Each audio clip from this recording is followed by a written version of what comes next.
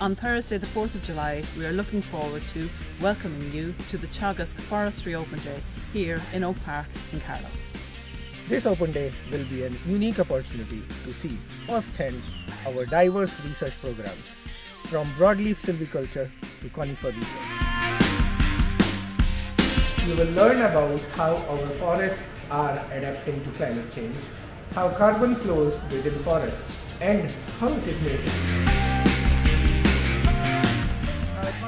Staff will be on hand to highlight the many support programs available for planting new forests and for managing existing ones.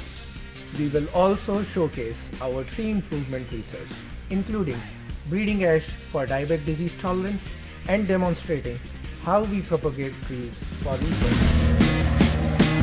So everyone is welcome to join us at the Teagasc Forestry Open Day on Thursday the 4th of July. Come anytime between 11 and 1 pm and we're all looking forward to seeing you. Let's go!